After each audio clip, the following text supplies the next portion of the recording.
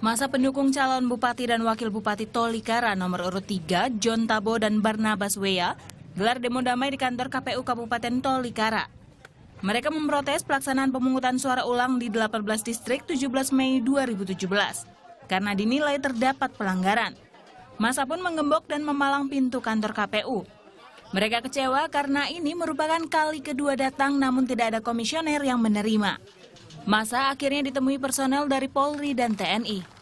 Karena memang komisionernya tidak datang. Kita sudah hubungi Ketua KPU Provinsi menyatakan beliau sedang uh, menghadiri sidang DKPP. Ya. Sedangkan komisioner yang lain sedang ada tugas ya di Wamena.